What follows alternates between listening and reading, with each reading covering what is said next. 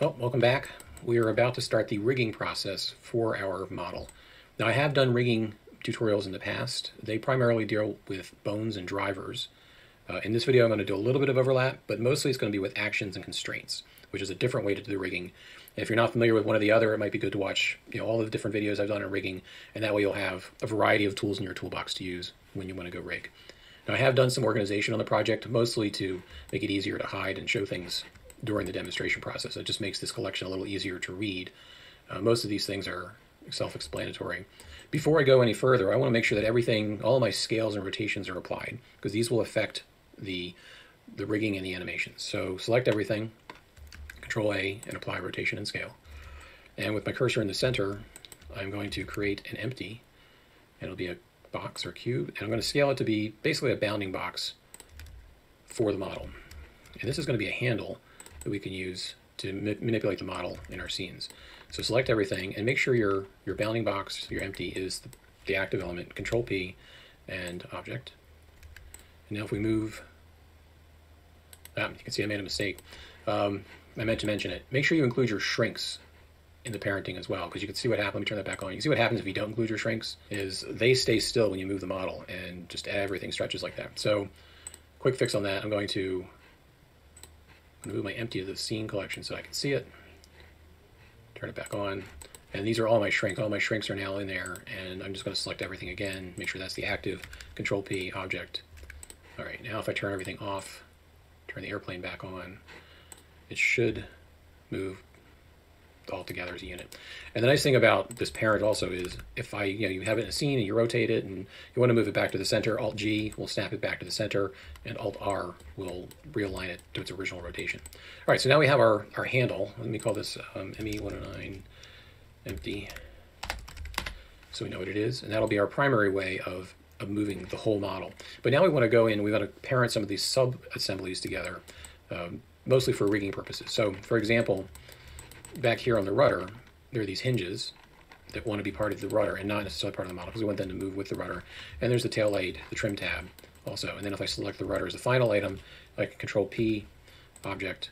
And now those items are all connected to the rudder, but the rudder is still parented to the box. So I can still move everything.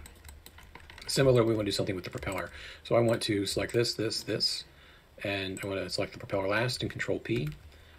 I'm going to parent everything to the prop so that the entire spinner is part of it, but I also need to parent the spinner shrink to the spinner as well. So there's the spinner shrink, I'm gonna parent that as well. And now if we move the prop, it all moves together. And when we rotate it, it all rotates together. So we'll animate that later. All right, so let me hide most of the airplane. All right, so it's pretty much left with things that I think we're going to rig now. Now, as far as other parenting goes, I want to parent the wheels and the uh, panels, everything to the main strut. And then actually I want to parent it to, the, to this axle here so that everything moves as a unit. So I'm going to do all these things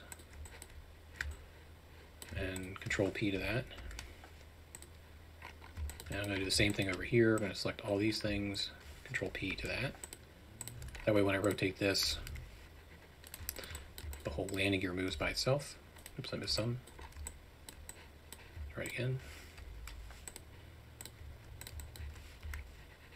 All right, so that all works together.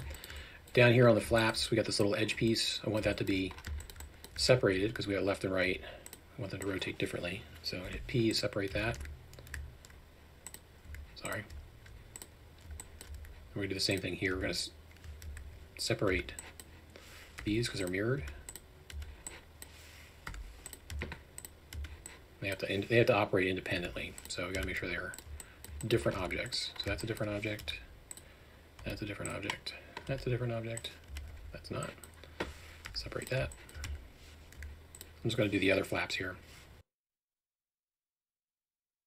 All right, well, all the objects are now separated.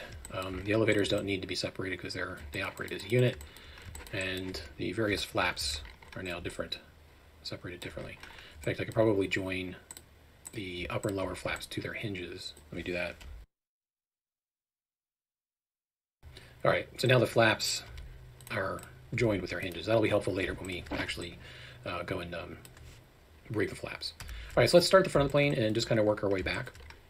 We already have prop all parented together. So next thing we need to do is just define how fast it rotates. Uh, if you use the standard 24 frames per second um, and the standard uh, motion blur settings, I found that uh, rotation rate of about 800 uh, per 24 frames makes a decent motion blur. So we'll get a motion blur something like this at 800 per 24 frames. So let's do that. So I'll go into here and I will hit I to create a keyframe here. And I've got my end set at 24, so I'm going to go all the way to the end and I'm going to rotate along the Y axis. And I think I wanted to rotate clockwise or positive angle, so 800. And I hit I again. And we want to make sure that the animation starts right away, so we need to go to here, click on here, right click, extrapolation mode, and click linear. Uh, if you don't do that, otherwise it'll start off slowly and then build up speed. This way, when we play the animation, it just kicks right off and starts running right away, which is what we want. All right, so we can hide this. Maybe I'll just move this to its own collection now. Move to a new collection, we'll call it prop. And we'll just hide that, because we're done with it. Um, this is the air filter scoop, or clamshells that are on the front of the uh, air filter that's sometimes put on the plane. So we want this to open up from the top, right? So what we can do is we can set the uh, origin to the center of the hinge here. I'm just going to select these guys, cursor there, and then say set origin, set origin to 3D cursor. Right, and now if I go to the top view and hit R, you can see that then we need to do the same thing with this one, set origin to 3D cursor. And now that one opens that way as well. And maybe we'll bring back the center portion of the air filter just so we can see how far to, to move it. All right, so this is going to be the first example of an action in order to animate these, these clamshells. Um, so what I'm going to do is I'm going to make a little controller first. So I'm going to put my mouse here. I'm going to say mesh, circle, and I want seven sides. Scroll it down. Go into vertex map, GZ, SZ0, also SX. All right, so now I just have a little arrow. I'm going to scale that. I'm going to create duplicate.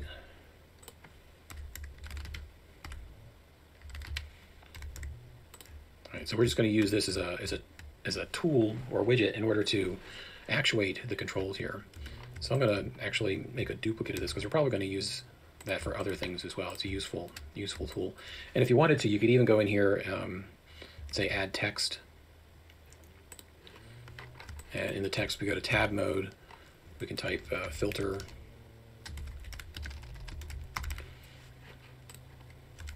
And then scale it down. That way it's you know kind of self-labeled there. And then I can just join the two together.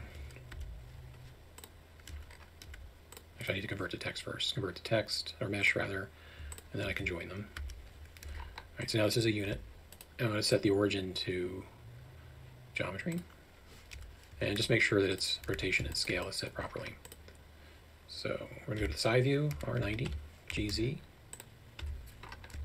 And I want to put this kind of like right in the middle here. So I'm going to hide this for a moment. Put the cursor there. Selection cursor, and then GZ. Now it'll be on top. It'll just sit on top there. So now we need to create actions to open these clamshells. So up here I have a dope sheet open, just from dope sheet, dope sheet.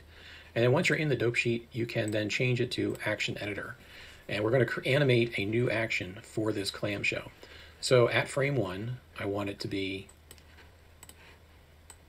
rotations. I'm going to do both of them here, right? And then at frame, say 24, we go to frame 24. I want it to be fully open. It doesn't really matter how many frames you hear because the actual motion is going to be controlled by this tool and how fast it moves. So we're going to say R, and I just want it to open until it just just touches or just doesn't touch the filter. All right, so that's how far that's going to open, and I'm going to hit I, and that'll be that one. And this one, I'm going to do the same thing. I'm going to rotate it back until it is just about touching. I'm going to hit I to lock that one. I'm just going to move this one left or to the right, just to look more centered that way. All right, I'm going to push it down so it's a little closer. All right, so now we've got this animation up here, and if we were to go back to the beginning and play it, they would open and close. But the nice thing about actions is we can now save this this action and not have to animate it all the time. So let me show you what I mean. So here I'm going to call this filter door um, dot what L, I guess. Call that one filter door L, and this one I'm going to call filter. So the right filter door. So we've named our two animation actions, and I want to create a fake user for each of these, and then I want to delete them from here.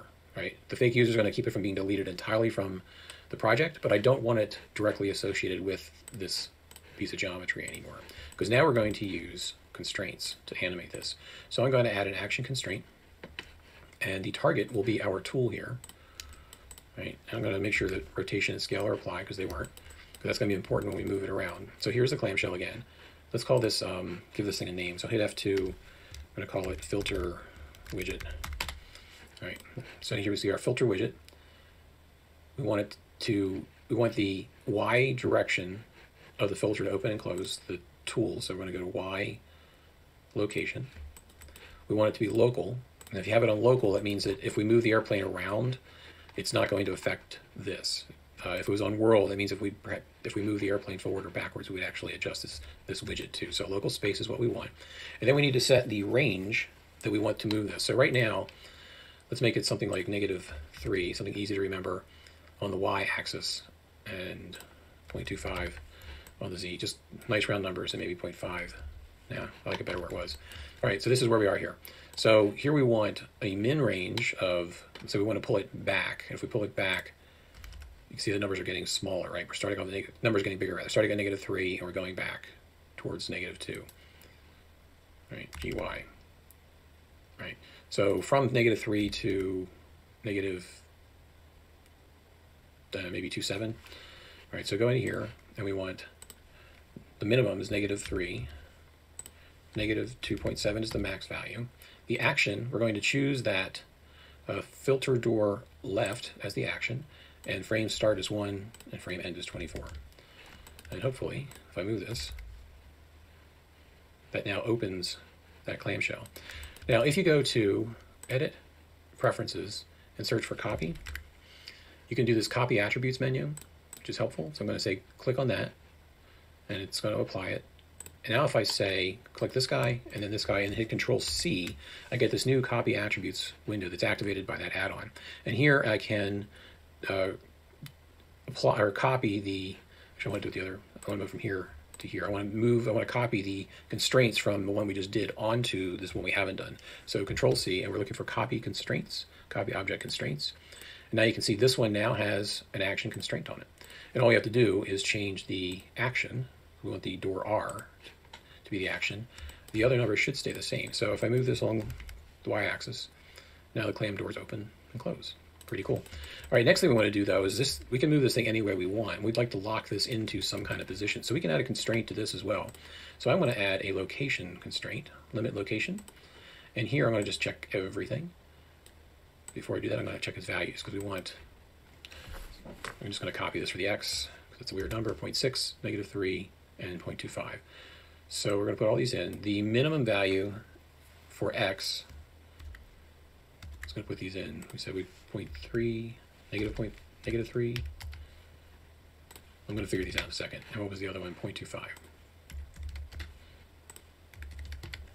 right, so it's kind of locked into position now. So what we want is we want to say, okay, along the y-axis, it can move from negative 3 to maximum of negative, negative 2 and we want this also in a local space. What we're doing is we're telling Blender that this is no longer allowed to move in any direction. So right now I'm hitting G, I'm trying to move it left and right and up and down, and won't do it. It'll only move it in this direction. And maybe negative 2 is, is too far. Maybe negative 2.7, maybe? Negative 2.7 be the maximum. And then we'll make sure that our maximums make there, 2.7, 2.7. All right, so you can see that I'm right now I'm trying to push it further back along the y-axis and it won't let me do it. So now we've got a widget that'll nicely open up that air filter cover. That's pretty cool. All right, we're going to do something similar with the landing gear. All right, and the one thing to think about when we're doing the animations for these is that I think the landing gear on the 109 doesn't retract equally on both sides. So So here's a still from an image or from a video. You can see that the left gear is, this is on takeoff. The left gear is coming up way faster than the gear on the right. Um, this one a little bit less extreme, but the left gear definitely retracts faster than the right gear. So for fun, let's let's animate that as well. So let's go to the front view, and this is all parented together. So we're going to actually animate off of this. And if we look at our image planes, we can use these to line up our uh, our wheels both in the front and side views. There you go, there's the side view. Because it does come forward a little bit and you know, there's that angled look from the front. So let's take a look at this guy and I'd make sure we're at one in the timeline. And I'm going to hit I for rotation.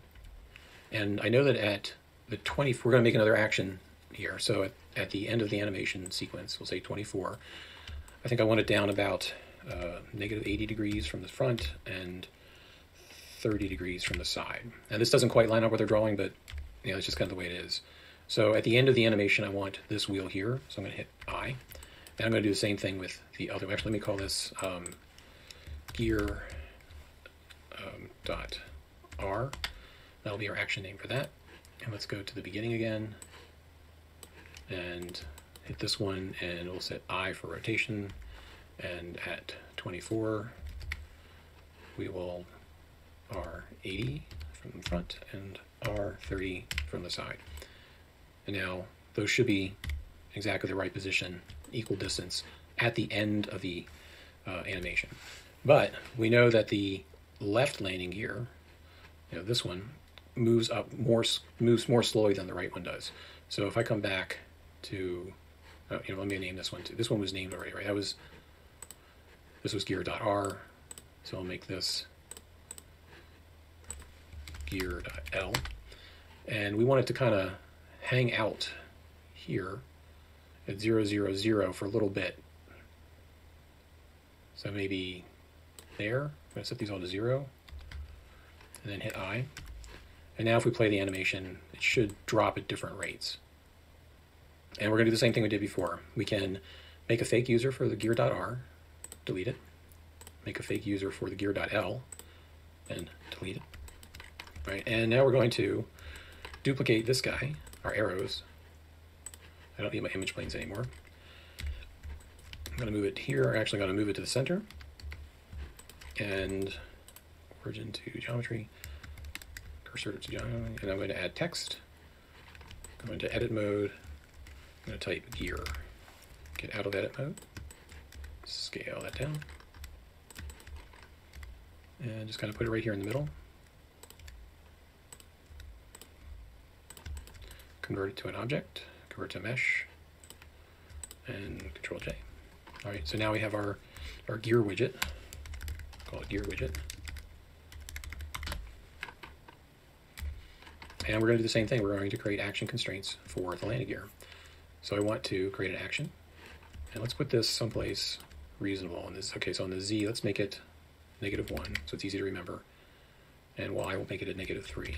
All right, so it's, it's out of the way of the airplane. Um, is mostly what I'm dealing with there. All right, so we have an action. Target is the gear widget. We want it on the Z location, local space. Range, we want it to go down. So right now it's currently at negative 3. So we'll go negative 3 to negative 4. So negative 4 is the min. Negative 3 is the max. The action will be gear.l. And we want from frame, frame 1 to frame 24. And if we move this up and down, now what's happening is it's, it's starting off down, so what we can do is we can actually invert the timeline here. And now when we move it down, yeah, but maybe I'll make that bottom transition a lot less. A full meter is too much, so negative, negative 3.2, say.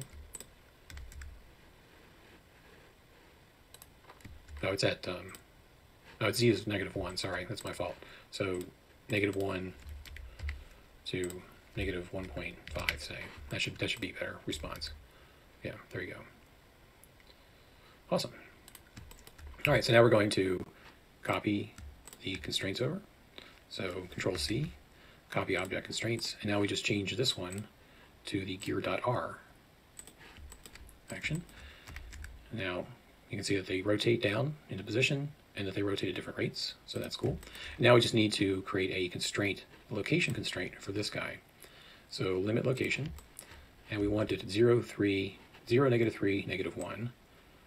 So 0, negative 3, negative 1, negative 3, negative 1. All right, so what we really want is, what do we say? It could go down to negative 1.5, I think. Yeah, negative 1.5 is the mid of the z. Negative 1.5. Right, and we want local space. So now I can't move this thing anything but up and down, and I can only move it that far. Like I'm trying to pull it down further, I'm trying to push it up further, it doesn't work. I'm trying to pull it left and right, it doesn't work. So now I can just grab that widget. And what we can do later on when we want to animate is we actually then would animate keyframes on this and not on landing gear. Right. So for example, if we wanted to animate the landing gear going down, I could do a keyframe on its location here, hitting I, and then at frame 24, go to, sorry, move it down and hit I again. And now if we play the animation, the yeah, landing gear goes down. All right, so that's all that. So we can just get rid of these. We don't need these. All right, so that is the landing gear. Make sure we save. I think I'm going to clean up a little bit here just to hide some stuff. So all this, I'm going to move into the uh, filter collection and then hide that so it's out of our way. And since we're done with the landing gear, I can move that into, which I don't see one, so let's create one. And I'm going to hide that, and I'm going to stick, I must have one, I'll clean that up later, just stick that in there for now. Just to get it out of our way so we're not looking at it, I'm going to move this one there as well. ME109, landing gear at 1. Um, just so we're kind of, as we move along, we're just going to hide more and more stuff until we've got nothing left to look at. Now I'm going to show you how to do another version of action uh, animations, but using bones. And we're going to use bones to drive all of the flaps. So from top view, I'm going to create an armature. Side view, rotate negative 90 degrees, and maybe scale down a little bit, and then apply rotation and scale. Now in edit mode, I'm going to duplicate this bone. And now I want to take the endpoints of this bone and snap them to the endpoints of each of these uh, hinge lines. So if I go into edit mode here, and I move my cursor to there, and then go into edit, edit mode on the bones, I can say selection to cursor, and go back into the control surface, move my cursor to this end, cursor to selection, edit mode, and then selection to cursor. So I'm just going to do that for all the control surfaces.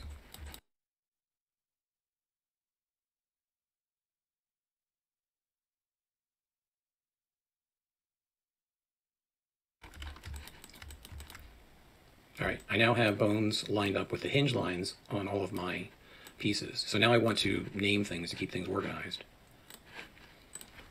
I'm going to call this flap armature. And then the individual bones inside. So this is going to be the controller. This is what's going to be used to drive the flaps. This is going to be outer flap dot left, inner flap dot left, radiator dot left, inner flap dot right, outer flap dot, and finally inner flap or radiator flap dot right. Now our bones are named, the armature is named. But the next thing we need to do is to bind our flaps to the armature. So I'm going to select everything, or I guess parent. Um, make sure that the armature is the active element, Control P, and then with empty groups. And if we look at the vertex groups for each of these flaps, you'll see that it created a vertex group for each bone. So now we need to select each flap, go into edit mode, and then select the appropriate vertex group to assign it to. So this is the outer flap left. So we want to assign 100% to that bone. This is the outer, this is the inner flap left. 100%, and so on.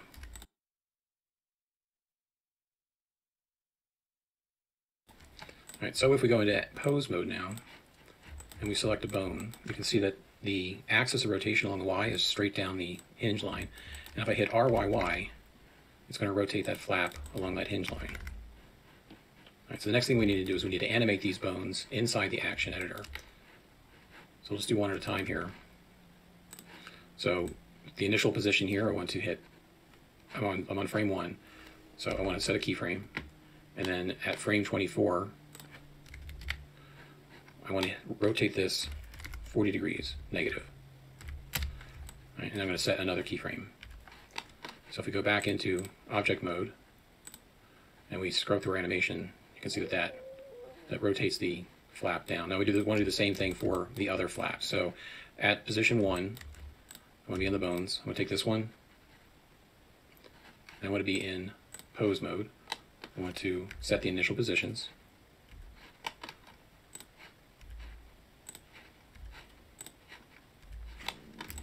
And then I want to go to frame 24, which is the end of our animation sequence.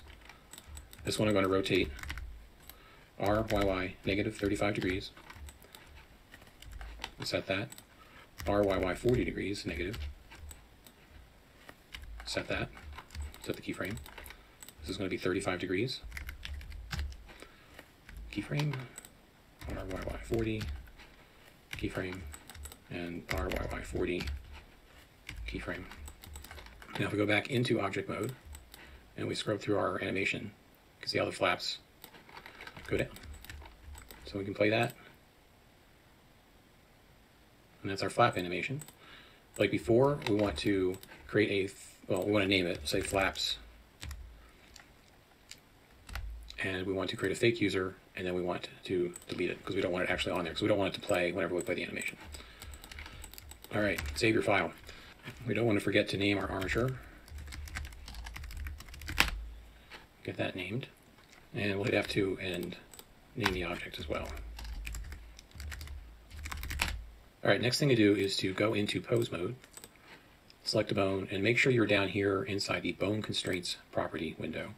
And we want to add an action. We're going to choose our armature, our flap armature, and we're going to use the controller as the bone to control it. I want the X rotation local. And the range I'm going to have it rotate along the x-axis negative 90 degrees is the min. And we're going to choose the flaps action. And we're going to start at, it's going to be backwards. We're going to do 24 to 1. And now if you rotate this on the x, the flap moves. So I'm going to do the same thing with these other bones. A faster way to do this might be to use the Control C option to copy the constraints.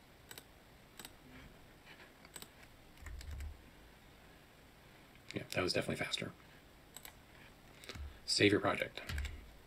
Next thing to do is add a rotation constraint to this since we don't want it rotating past 90 degrees and we don't want it pa don't want it rotating in just any old direction. So under constraints, add a limit rotation. We're to limit everything and the min is negative 90 degrees on the x-axis and we're going to do it in local space. So now if we hit R, it's only going to A, rotate 90 degrees, and B, only rotate on the x-axis. Right now this bone is going to be inside the fuselage. So if we turn the fuselage on, gonna, it's going to be hard to see. So if we go into edit mode and just move it up, hit G and Z, it's going to put it up above the fuselage there. And now we go into pose mode, we'll be able to more easily see it when we do the animation. To make things a little neater, I think what I'm going to do is I'm going to be in pose mode, and I'm going to hide the bones I'm not interested in seeing. Just hide those. And then this bone, I'm going to turn on names so we can see what it says there. And then I'm going to go into bone properties, and I'm going to rename it flap controller. And with the names turned on, you'll be able to see that. We have other bone, we're going to have another bone up here for ailerons, so I just want to um, differentiate between the two of them. All right, I rigged the ailerons. Um, it was a little different than the um, flaps, so I probably should explain a little bit what I did. I have the bones like I did on the flaps connected to them, but I had to create two actions, one for bank left, one for bank right. So if we look in the um, in the bones under the constraints, you can see I have two actions instead of one. I have a roll left action and a one that's a roll right action. And I did that so that when the joystick was in the neutral position, the flaps would be neutral, and then if I move, you know, on the Y, on the, you know, from this position here, you can see that they, they deflect up and down. Um, and if we look back at our reference materials, we can see that the, the ailerons have a different deflection up and down. It's, it's a different type of, uh, it's a special type of aileron with the hinges down here. So they're going to deflect negative 22 and then 11 degrees in the other one. So that's what I just set these two so that when one goes up 11 degrees, the other one goes down 22 degrees. Uh, but I had to do that using actually two um, actions and then the controller just drives them both. And I've got that limited right now so that it only works, you know, like a joystick going left to right. And then the next thing to do would be to allow it to move forward and back to change the rudder, the elevator position. So I'm just going to rig the elevators to work pretty much the same way. I'm going to go to bone here, and I'm going to create an action item so that when the stick moves forward and back, um, that works. I created again two actions for the elevators, uh, one for climbing, one for diving, and then I tied those actions into the joystick's forward and back rotation so that when I move the joystick forward and back, the elevators move, and when I move the joystick left to right, the ailerons move, and I can just wiggle the whole thing around, and all the control surfaces move. Just want to hide the unnecessary bones that are not cluttering stuff. Go to edit mode, hide them here.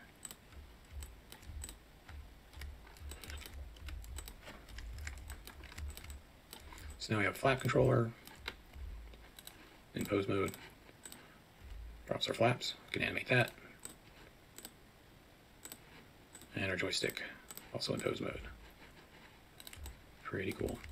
All right, and what we can't forget to do, or don't want to forget to do, is now that these items are parented to the bones, we need to parent these bones back to our uh, central object here, right? Because if we move our control box, our bounding box, the bones don't, the armatures don't move with it. So if we select the, the controller bones, select the uh, bounding box, uh, control P object, and now if we move this, everything moves. And since we did it locally, then our controls shouldn't move when we rotate the object, since all of the controls work on the local space of the aircraft. So let's unhide everything.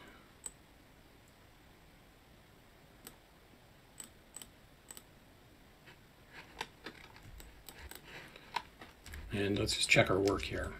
So we have our gear down button. You know, hit G, I should be able to move our gear down. That's nice. We've got our air filter. Hit G, it opens and closes. Can animate that nicely. We have our joystick. If I just wiggle it, go into pose mode. And I can move my ailerons. See how it deflects the ailerons? I probably should put a limit on that. So should be a limit on rotation, say front and back, and along the x-axis as well. So maybe plus and minus 20. So it doesn't go as far. All right, so we'll get full full back rudder at 20 degrees, or elevator rather, and then uh, full joystick 45 degrees. Doesn't really matter because you're just going to animate this to full deflection anyway. And then we have our flap controller in pose mode. And then if we were going to animate these, we would just go into pose mode and create, you know, whatever animation we wanted. And there, there go our flaps. Pretty cool. All right, so the only other thing left then is the is the rudder, which is the easiest of all because uh, it runs on a 90 degree angle, um, and we've already got it parented to these hinges. So if I isolate it for a second, if I isolate the hinges as well, actually just the hinges,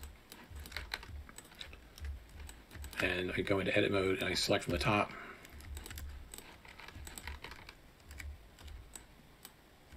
So now I've selected the top and bottom hinges. I'm going to move the cursor to that. And if I select the rudder and say set origin to 3D cursor, so now the it'll rotate along the Z axis there. And we can, if we want to, we can set up a constraint on that. So a rotation limit and I don't know what the rotation limit is, but it'll be on the z-axis. Maybe, I don't know, let's take a look from the top, see what it looks like. Turn this off. Maybe 20 degrees. All right, so we'll say 20 degrees, left and right, x, y. So negative 20, positive 20. And then if we hit this and hit R, the only thing it's going to do is it's going to swing left and right and it's going to max deflect at 20 degrees. All right, so that is the rudder. All right, and there are other things I guess you could animate if you wanted to. You could animate the, the canopy if you wanted to. Um, you could animate dropping the drop tank. Um, for right now, though, I think I'm just going to leave it as is. There's our plane speeding along. Maybe do a couple of test renders, see what it looks like with the uh, flaps and stuff down, gear down. And hold on a second, we'll see what that looks like. I did a couple quick renders Uh, I didn't spend any time fixing lighting or color matching or anything, but I just wanted to see what it looked like, kind of yeah, landing and taking off. In the next lesson, I think what we'll do is I'll do some actual scene setup, lighting, and uh, maybe a short animation as well. Uh, hope to see you there.